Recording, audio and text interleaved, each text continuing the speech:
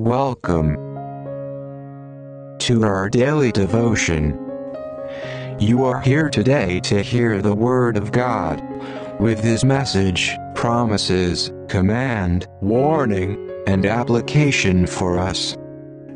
Faith is to believe God's Word is the very essence of receiving the promises that He says we can have.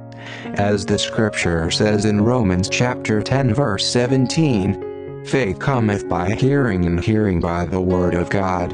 It gives us knowledge on how faith comes, by taking in God's word. Our word for today is taken in the book of 1 Corinthians chapter 9 verse 22. To the weak I became weak, to win the weak. I have become all things to all people so that by all possible means I might save some. Message There are people in our world who are very different from us. Imagine that Jesus tapped your shoulder and said to you, I want you to tell someone about me. What would you do? Apart from the Lord impressing into my heart or be someone else that we may save someone, the Lord also led me to understand the call of the workers. We can force ourselves from working and ministering but if the Lord has yet to call us, it will not totally manifest and we might not find that purpose but when he calls us finally, we should respond to his call. Promise. The Lord will one day call us but when that time comes are we ready for it? We should do our best to be the best person that we can ever be until that call, for we should be totally equipped for it.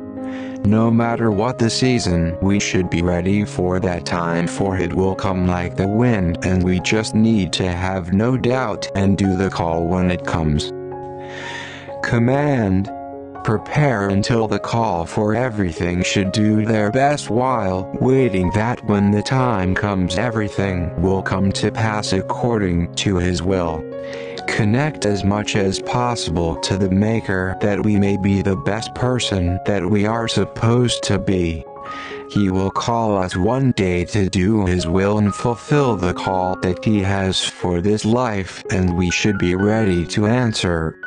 Following Jesus shifts our attention away from ourselves and toward people around us. Jesus calls us away from our personal comfort and toward service. Warning! The world will be full of destruction and we might fall for it be reminded of where we should be and what we should do always that we may not be pulled down to a place where we would just be distracted and miss his call. Remember the call and our preparation at that time. Let nothing hinder us from being the person that we should actually be. Application Prepare and seek the Lord always know his ways and understand what he wanted for this life. Let nothing and no one distract us from the things we should be doing. Focus on the Lord and guard this heart. Be the best person that we should be and that is the Lord Jesus Christ. Follow him for he is the only way. Let's pray together, Father, Thank you for blessing us with your message of hope and love today. With the Holy Spirit working in our hearts, we shall grow in our faith and ability to face unafraid each new day of our lives. How precious to us are your thoughts, O God. Your word is a lamp to our feet and a light to our path. Thank you that we can live in your light and walk in your truth.